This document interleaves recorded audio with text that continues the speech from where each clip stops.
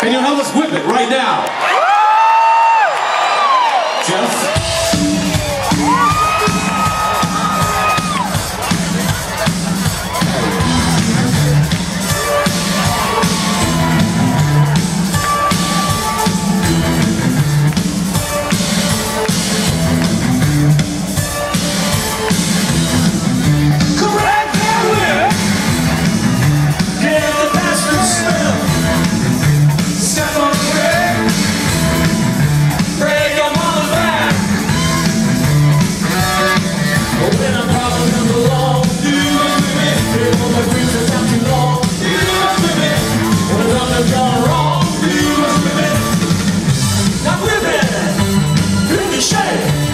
shake